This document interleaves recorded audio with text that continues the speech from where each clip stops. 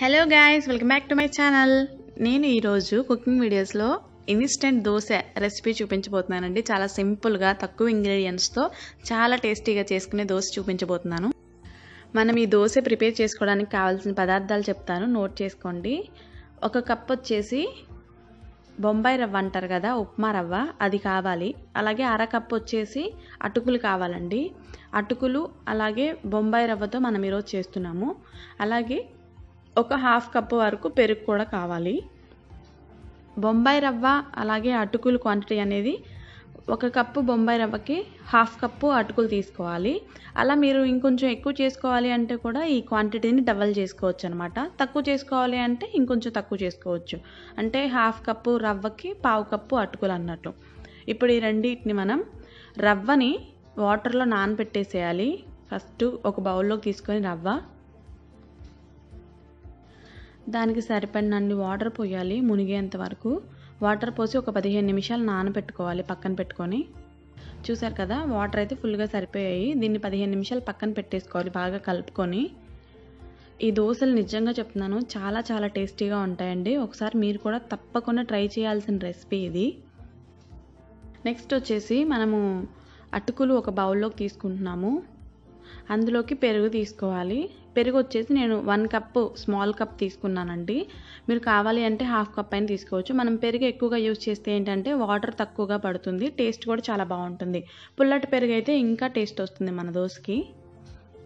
చూసారు కదా ఈ విధంగా పెరిగేసుకొని అటుకులు బాగా కలుపుకొని ఇది కూడా ఒక పదిహేను నిమిషాలు మూత పెట్టుకొని పక్కన పెట్టుకోవాలి. కొంచెం అంత వాటర్ యాడ్ చేసుకోవాలి. నేను ఆ పెరుగు కప్లోనే వాటర్ యాడ్ చేసి కలుపుకున్నానండి. అంతే ఒక పదిహేను నిమిషాలు పక్కన పెట్టుకోవాలి. నెక్స్ట్ దోశలోకి కాంబినేషన్ చట్నీ చూపిస్తున్నాను. కాంబినేషన్ చట్నీకి ఒక ప్యాన్ పెట్టుకొని రెండు రెండు లేదా మూడు టేబుల్ స్పూన్స్ ఆయిల్ వేసుకొని అందులోకి ఒక టేబుల్ స్పూన్ శనగపప్పు అలాగే హాఫ్ టీ స్పూను మెంతులు ఒక టేబుల్ స్పూను మినపప్పు యాడ్ చేసుకున్నాను ఇప్పుడు. అలాగే ఒక టీ స్పూన్ ధనియాలు ఒక టీ స్పూన్ జీలకర్ర కూడా యాడ్ చేసుకోవాలి. శనగపప్పు మెంతులు అలాగే మినపప్పు కొంచెం వేగిన తర్వాత ఒక టీ స్పూన్ జీలకర్ర అలాగే ఒక టీ స్పూన్ ధనియాలు కొంచెం అంత చింతపండు ఆరేడు ఎండుమిర్చి ఒక నాలుగైదు రెబ్బల వెల్లుల్లిపాయలు వేసుకోవాలి. ఇంకా ఈ మొత్తం కూడా వేగిన తర్వాత ఒక మీడియం సైజ్ ఆనియన్ వేసుకోవాలి. ఆనియన్ కూడా కొంచెం అంత వేగిన తర్వాత మనం లాస్ట్లో టమాటా యాడ్ చేసుకోవాలి. ఇవన్నీ కూడా మంచిగా వేపుకోవాలండి మీడియం ఫ్లేమ్ మీద. ఎండుమిర్చి మీ ఘాటును బట్టి వేసుకోండి. కారంగా కావాలి అంటే ఎక్కువ వేసుకోండి. ఆనియన్స్ బాగా వేగిన తర్వాత ఒక మీడియం సైజ్ టమాటా యాడ్ చేస్తున్నాను. ఇలా చిన్న చిన్న పీసెస్ లాగా కట్ చేసుకొని ఒక టమాటా అయితే సరిపోతుంది. టొమాటో మనకి మెత్తగా అయిపోవాలండి మ్యాష్ అయిపోవాలి. అప్పుడే మనం చల్లార్చుకొని మిక్సీ పట్టేసుకోవాలన్నమాట. చట్నీ బాగా వేగిపోయిందండి. ఇప్పుడు దీన్ని చల్లార్చుకొని మిక్సీ పట్టుకోవాలి. చట్నీ చల్లారేలోపు మనం ఏదైతే రవ్వ నానబెట్టుకున్నామో దాన్ని మిక్సీ జార్లోకి తీసుకోవాలండి. రవ్వ అలాగే అటుకులు మిక్సీ జార్లోకి తీసుకొని పిండిలాగా పట్టుకోవాలి. చూసారు కదా ఇలా మిక్సీ జార్లోకి అటుకులు అలాగే రవ్వ మనం ఏదైతే నానబెట్టుకున్న రవ్వ పెరుగులో నానబెట్టుకున్న అటుకులు మిక్సీలోకి తీసుకొని కొంచెం అంత వాటర్ పోసుకొని మనం ఇప్పుడు దోశ పిండిలాగా మిక్సీ పట్టుకోవాలి.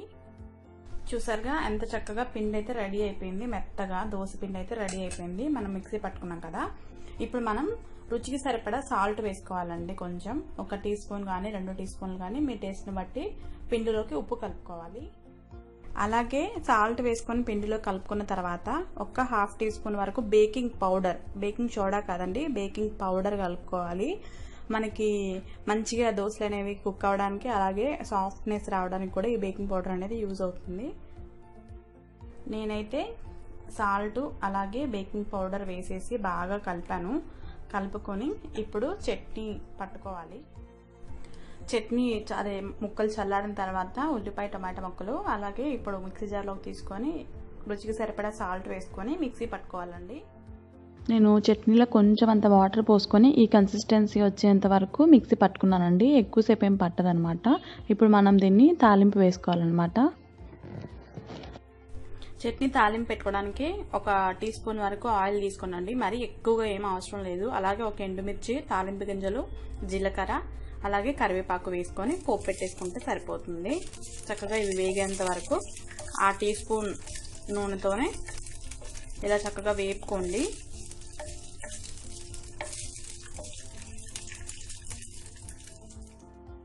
చూసారు కదా? ఇలా పోపు వేసేసుకుంటే సరిపోతుందండి. మనమేం చట్నీ మళ్ళీ పోపులో వేసి వేడి చేయనక్కర్లేదు. ఇలా పోపు వేసేసుకుంటే సరిపోతుంది. ఇప్పుడు బాగా కలుపుకోవాలి. పోపు దినుసులన్నీ కూడా కలిసేలాగా అంటే ఈ చట్నీ ఓన్లీ ఈ దోశల్లోకైనా కాదు మనం రెగ్యులర్గా చేసుకునే దోశల్లోకైనా సరే ఇడ్లీలోకైనా సరే చాలా టేస్టీగా ఉంటుంది. ఒకసారి ఇలా చట్నీ ట్రై చేసి ఎలా కుదిరింది అనేది నాకు చెప్పడం మాత్రం అసలు మర్చిపోవద్దు. అలాగే ఇప్పుడు నేను చూపించే దోశలు కూడా చాలా టేస్ట్ వైజ్గా చాలా బాగుంటాయి. ఇన్స్టెంట్ దోశలనే కానీ అసలు మామూలుగా మనం చేసుకునే దోశల కంటే కూడా ఇంకా ఇంకా టేస్టీగా ఉంటాయి. ఒకసారి మీరు కూడా ఇలా ఎప్పుడు చేసుకునే దోశలాగా కాకుండా ఈ స్టైల్లో ఒకసారి దోశలు ట్రై చేసి ఎలా కుదిరాయి అనేది నాకు చెప్పడం మాత్రం అసలు మర్చిపోకండి. ఇప్పుడైతే మనం దోశలు వేసేద్దాం. పిండి అయితే చూసారు కదా చక్కగా మెత్తగా అయింది పిండి. అలాగే మనం బేకింగ్ పౌడర్ వేసుకున్నాం కదా మంచిగా పొంగుతుంది అనమాట ఇప్పుడైతే దోశలు వేసేసుకుందాము. దానికి నేను ఆల్రెడీ ప్యాను స్టవ్ మీద పెట్టేసుకున్నాను పెనాన్ని. ఇది నాన్ స్టిక్ కాబట్టి మనకి ఎక్కువగా ఆయిల్ కూడా పట్టదు అనమాట ఇలా ఒక గరిటె పిండి తీసుకోవాలి. ఒక గరిటె పిండి తీసుకొని మనం దోశలు వేసేసుకోవాలి. మరి ఎక్కువగా గట్టిగా ప్రెస్ చేయకుండా స్లోగా ఇలా అనుకుంటే సరిపోతుంది. అందుట్లో ఇది నాన్ స్టిక్ కాబట్టి ఏమీ అంటుకోవటాలు అట్లాంటివి ఏమి ఉండవు. చక్కగా వస్తుంది దోశ అయితే. పల్చగా ఇలా చేసుకోండి. మధ్యలో ఒకసారి ఇలా అనేసుకోండి. మీకు అవసరం అయితేనే ఆయిల్ యాడ్ చేసుకోండి. అవసరం లేదు అంటే ఆయిల్ ఏం అస్సలు అవసరం లేదు. నేనైతే కొంచెం లైట్గా గీ వేస్తున్నాను నెయ్యి వేస్తున్నాను. ఒకవైపు కాలిన వెంటనే మళ్ళీ సెకండ్ వైపుకి టర్న్ చేసుకోవాలి మంచిగా.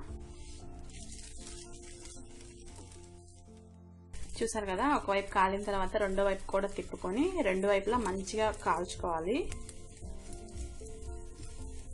చాలా స్పాంజీగా చాలా సాఫ్ట్గా వస్తాయి దోశలు అయితే పిల్లలకి చాలా అంటే ఈజీగా డైజెస్ట్ అయిపోతుంది అనమాట అలా చిన్నగానే కాదండి ఇలా పెద్దగా కూడా వేసుకోవచ్చు. మామూలు దోశ లాగానే వస్తుంది. అసలు ఏం ప్రాబ్లం లేదు. మీకు దోశ రాదు అనే ఇబ్బంది అసలు ఉండదు. చాలా చక్కగా వస్తాయి అనమాట దోశలు వేసుకునేటప్పుడు కూడా.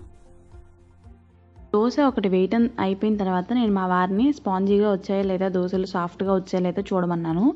తను అదే పనిలో ఉన్నారనమాట చాలా స్పాంజీగా వచ్చాయి మంచిగా సాఫ్ట్గా. నేను చేసిన ఏ వంటకైనా జడ్జి మా వారే అనమాట తను సూపర్ అన్నారంటే ఇంకా అది అద్భుతం అనే అర్థం. చూసారుగా ఎంతో స్పాంజీగా ఉండే దోశ ఇన్స్టెంట్ దోశ అలాగే టొమాటో చట్నీ అనమాట టొమాటో ఆనియన్ చట్నీ. చాలా బాగుంటుంది కాంబినేషన్ అనేది. హడావుడిగా ఆఫీసులకు వెళ్ళే వాళ్ళు కానీ లేదంటే నైట్ ఇంటికి వచ్చేసి ఏమీ చేసుకోలేని ఆకలితో ఉండి ఫాస్ట్ ఫాస్ట్గా ఏ టిఫిన్ తినాలి అని అనుకునే వాళ్ళకి కూడా ఈ దోశ అనేది చాలా బాగుంటుంది.